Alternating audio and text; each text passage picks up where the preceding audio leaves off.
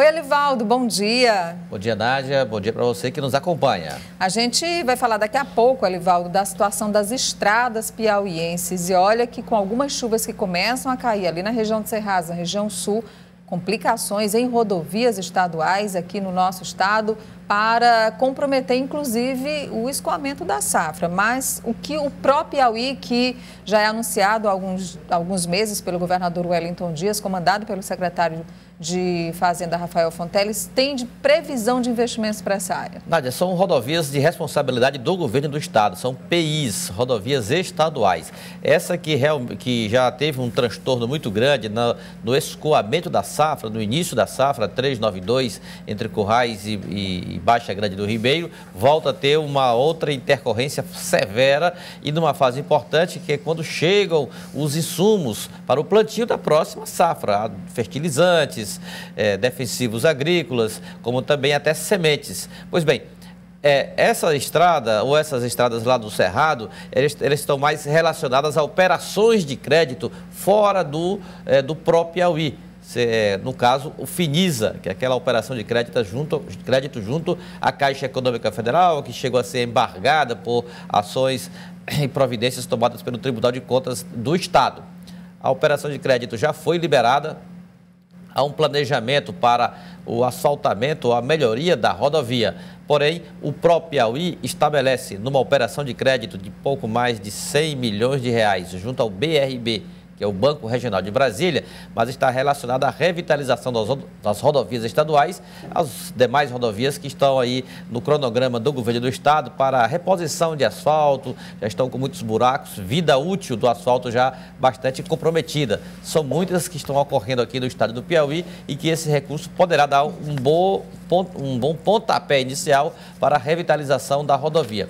A recuperação total, Nádia, beira aí os 400 a 500 milhões de reais. Ou seja, é muito dinheiro para o governo do estado dispor-se rapidamente. Também Porém, tem que tá buscar aí. exatamente esses recursos. A gente vai entrar em detalhes dessas rodovias, mas olha só, a situação é essa aí, essa situação é. de momento. Aí a descida da Serra das Laranjeiras é um Você ponto vê que é assim, é bem cortando essencial. ali o paredão mesmo. É, né? essencial. Então chove, todo o pavimento ele é removido pela força da água, não tem ainda um planejamento é, de drenagem, então o que terra mais solta vai todo embora. Bom, tá aí então o que pode acontecer aí com investimentos é, a médio, imagino, Correto. prazo, médio ou longo prazo. O presidente Jair Bolsonaro, a gente vai já entrar no assunto de eleições, não é ainda eleições, mas o presidente que está sem partido desde que saiu do PSL, depois das divergências internas do partido, agora já sinaliza que vai assinar uma ficha de filiação. Nádia, ontem nós comentamos no Jornal do Piauí com o Joelson Jordani sobre a, o futuro partidário do presidente da República, Jair Bolsonaro.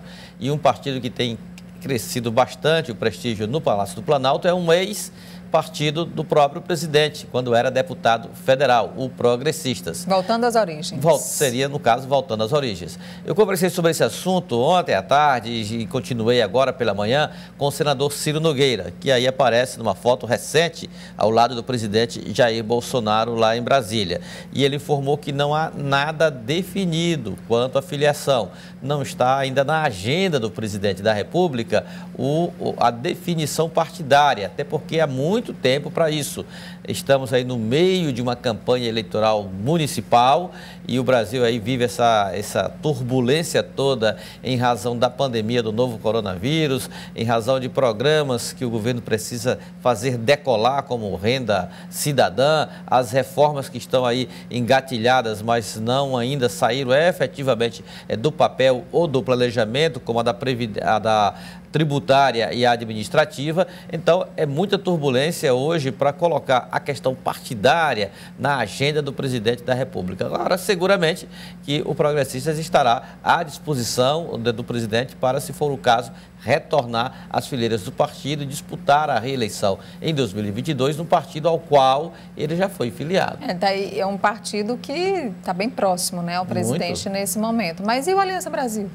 A Aliança Brasil é um projeto que ficou pelo caminho, Nádia. Mas não vai ser retomado e o presidente não iria para esse Dificilmente, novo partido? Nádia. Dificilmente. É uma exigência muito grande, mesmo sendo presidente da República, parece que sai um pouco do radar político do presidente a formação de um novo partido, que se perdeu aí pelo caminho. Hoje os aliados do presidente estão aí dispersos em várias legendas. Eu imagino que é esperar a eleição municipal, ver como vai ser a virada do ano no aspecto político, mapa político do Brasil, para que os aliados mais próximos do presidente possam é, definir ou auxiliá-lo na definição do futuro partidário. Hoje, por exemplo, o presidente tem uma ligação muito forte com o Patriota, até o PSL, que saiu aí com um litígio muito grande, a desfiliação, já, já busca uma reaproximação, então muita coisa ainda deve acontecer até que ele se defina partidariamente. Bom, isso tudo de olho é 2022, mas a gente também está de olho, é claro, pode ser diferente. Nas eleições de 2020, a melhor cobertura é aqui na Cidade Verde.